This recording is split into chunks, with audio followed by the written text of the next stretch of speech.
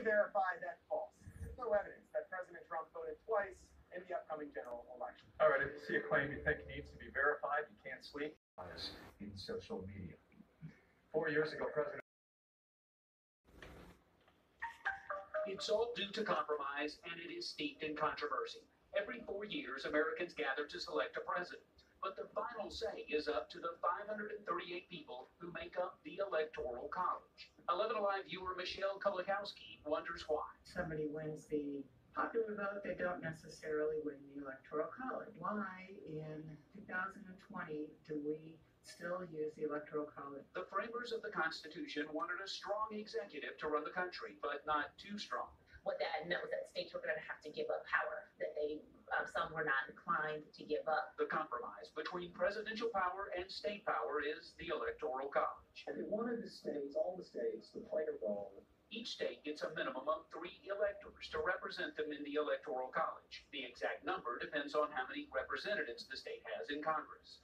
In general, the presidential candidate who wins a state gets all of the electors there. Whoever wins a majority of electors wins the Electoral College and the presidency.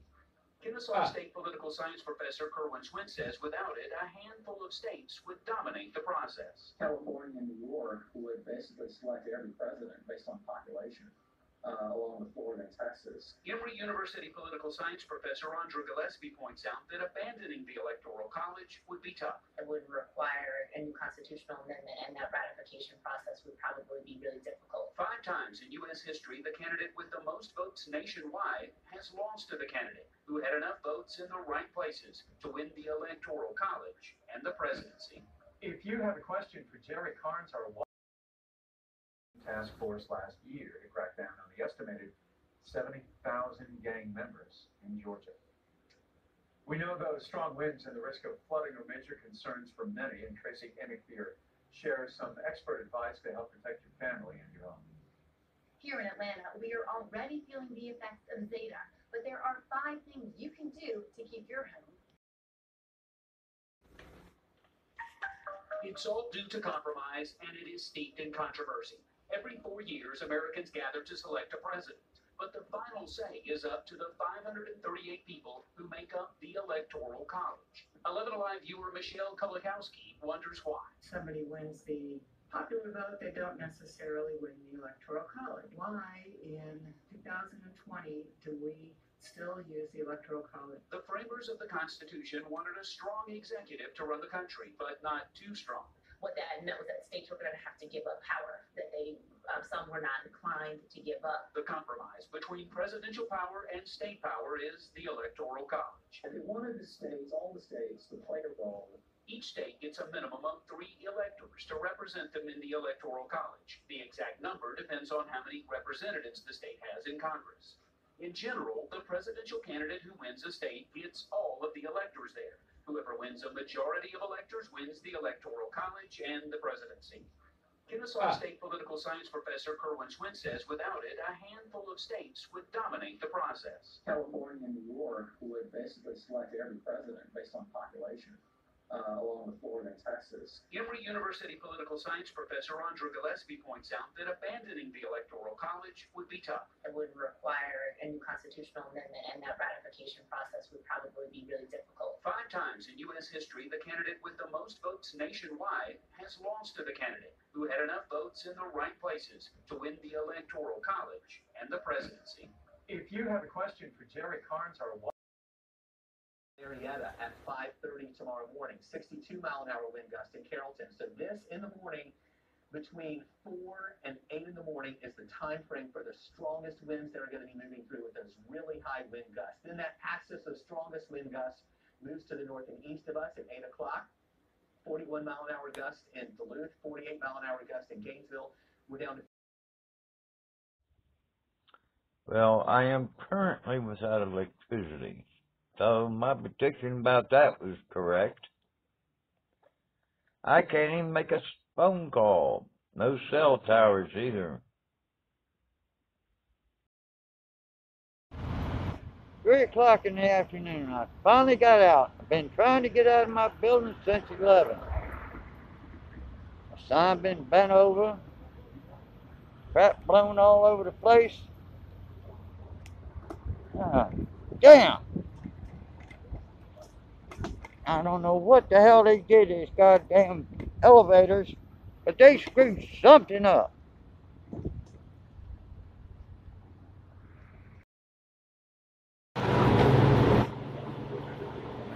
Ah, tree damage from the storm.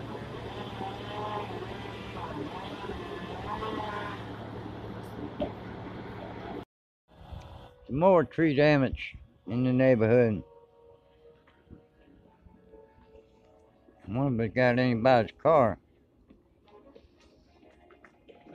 Ooh.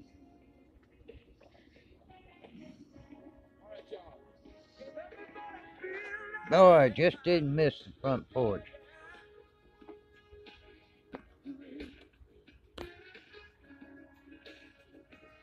Just didn't miss the house.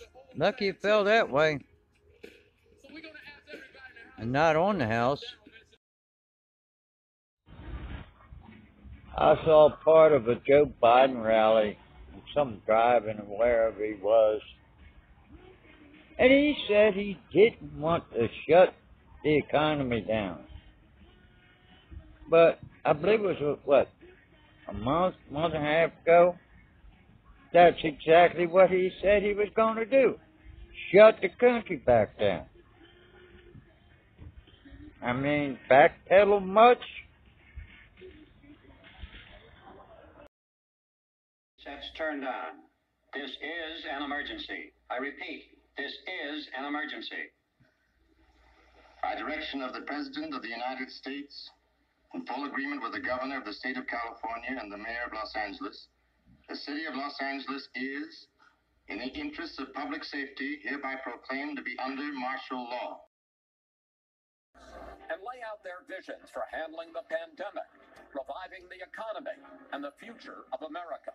We'll discuss how the president plans to pull out another come from behind victory with senior advisor Corey Lewandowski.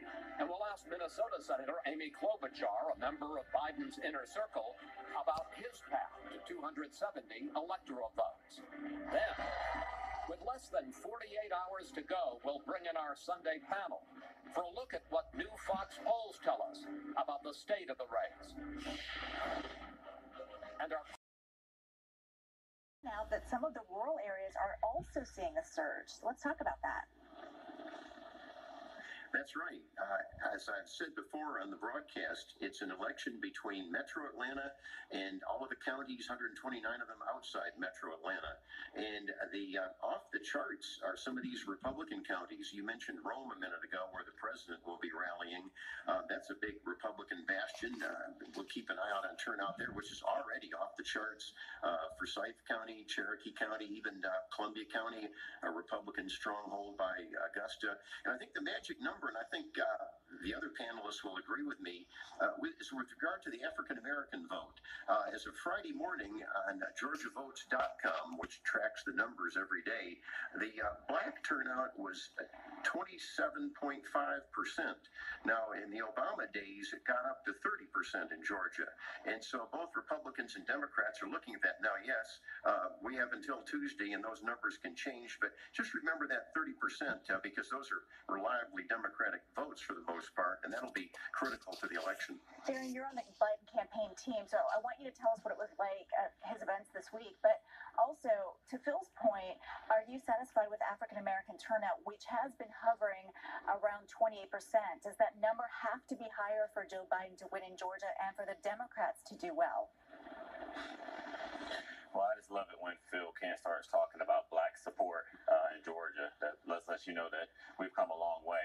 Think the one thing that I'm really focusing on, Lori, is just not black turnout, but just Democratic turnout across the state. I truly believe that we will never see African Americans turn out at the rate that we saw during uh, 2008 when President Barack Obama was running, and also in 2012. What I'm encouraged about is that not only are we doing well in the metro area, some of these rural counties that Phil are referencing, there are other rural counties around Georgia where we see Democrats doing extremely well. You know, I have to steal this this uh, sort of phrase uh, from my good friend Michael Thurmond, who made a comment this week, and he said that the Corona Coalition, and this is a coalition of rural and metro voters, are going to ultimately decide who the next president is going to be, and ultimately going to decide who wins in Georgia. And I believe that this is a, uh, again, biracial, it's, it's definitely demographically uh, diverse. And then lastly, you know, as far as uh, Vice President Biden being here this week, that just shows you with seven days left to go in the election, he chose to be in battleground Georgia. And to let our viewers know that Kamala Harris, Senator Kamala Harris, will be back in Georgia uh, today, uh, this Sunday, as we take on Friday, and she'll be in Gwinnett County. And so you're getting the future president of the United States and the future vice president of the United States in Georgia in the last week. So that shows you that we believe we can win here. And with Trump coming back, that shows you that he believes that he could possibly lose in this state. Yeah, Kathy, way in here, President Trump is in Georgia yet again. Does that surprise you? And, you know, Democrats are a diverse group. We talked about the African American turnout, but, you know, we are seeing, you know, Democratic turnout in other parts of the state as well. Yeah, right. I mean, I think what we've been seeing all along, and I love the phrase Corona Coalition. I hadn't heard that before, and I think that's really apt. Is that you um, Vice President Biden is uh, pulling white voters, suburban women in particular, at, at much higher rates. You can't isolate into any one demographic to see how we're going to do. Although I like all traditional Democratic demographics to be voting at record levels. Uh, so we're going to be working really hard on that between now and Tuesday. Um, clearly the president is concerned because Georgia, you know, while it should be very high on Biden's list to win, the president has to win Florida in order to make it to the finish line, and things aren't looking that great for him there. So, um, you know, they're really scraping to try to win anywhere they can and, and shore this up. And um, I'm, I'm feeling really um, that are here that needs to hear a message that's positive. Um, you know, I feel like the Biden Harris ticket is just like they are the king and queen of contradictions. They say that, you know, we're all about unity, but yet they refer to Republicans as chumps. They, they make uh. fun of, of our race as black conservatives. They call us super spreaders when there's no data of that. So, I mean, I just think that all in all, they're just contradictions. And I think that's why you're also seeing lower turnout when it comes to the black vote, because some people are just sitting in apathy. They don't know what to do. They're being told that if you vote for the Republicans and you're voting for racists, which is no, it's not true. And then if they're told that they vote for Biden and Harris and they're voting for someone who was a segregationist but no longer is. So, I mean, it's just a lot of confusion that's going on. I think we're going to see totally see the results of that at the at the polls on election day. Let's talk about the polls. Um, they Democrats have made a very, very good case to rural voters of why this election is important. You know, it is important. Have had enough. As the former city council president, weigh in, please hey, you know, the people are speaking on this one. It is very, very scary uh, to be caught up in an area where there's a lot of street racing going on. And unfortunately, because of the cars being off the road, we're seeing a lot of it. And we're seeing a lot of it across the country. Um, so I think that, uh, you know, I, last week I said the mayor needs to get home and get on top of this because uh, you can really hear people's um, concern and focus on this. So I, I, I think they're right to, to get about it. And I think, you know, they need to put a little work into this and um, figure it out. So, what do you think about the fact? I mean, the mayor held a press conference. She's acknowledging this. She says she's working on it. Your thoughts? Well, I'm going to agree with Kathy on some of her points, and it shows that uh, it, it, cuts across all political and racial lines in the city of Atlanta. Uh, the fact that the crime rate now is, is on a par with Chicago is an outrage. The mayor called it a problem in her press conference. No, it is a full blown crisis. And I actually uh, think there are two things the mayor could do. I've said that she could pledge right now, and I don't understand why she doesn't do it, pledge right now to support due process for all police officers that are involved in a shooting. And we'll find out if it was a righteous shooting or if it wasn't, but at least pledge that. And I'm going to agree with what Kathy said last week. We need a national search for a new police chief that could bring in a, a, a, a reforms, yes, working with the community, but also more aggressive policing. Darren, you're close to the mayor. She's a leader. She's supposed to stand up and tell the community what the direction, give us a direction as to where this community should go, not give passes or create safe environments to commit crimes and to be dangerous. All right, last word there, everyone. Thank you. And coming up, we'll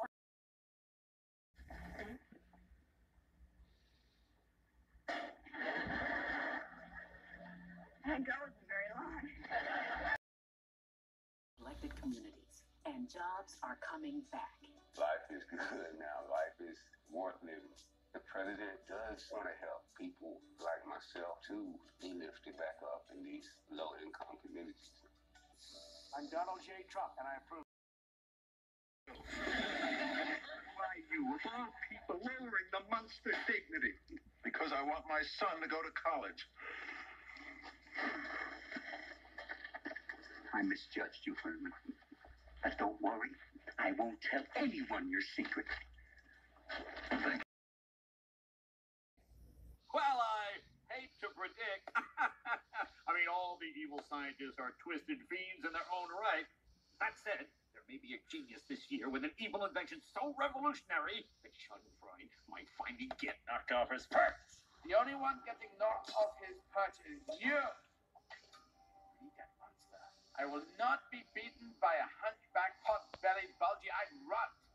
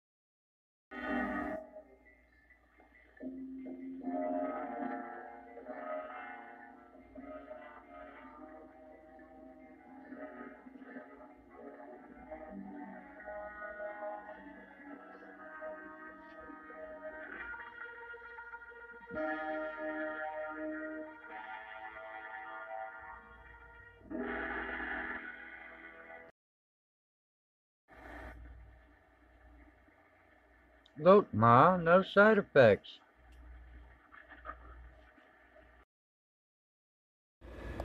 Good evening, everyone. Welcome to the Halloween House of Horrors. Black Cat.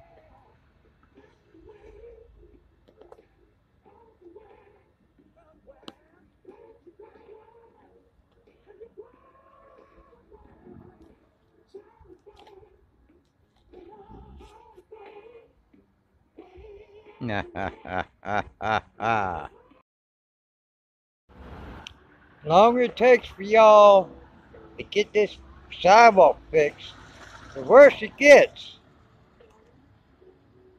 At Barnett's Cafe.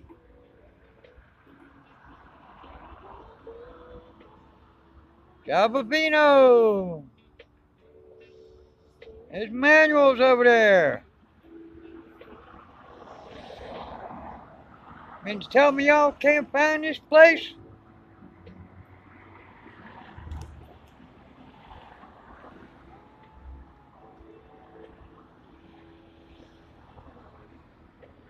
In town cleaners and laundry. I think y'all can locate it now, can't you?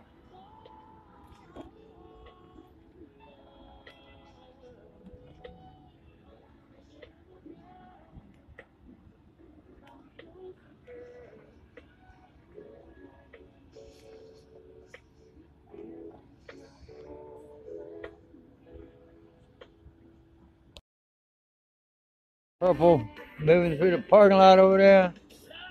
That's the bug bug.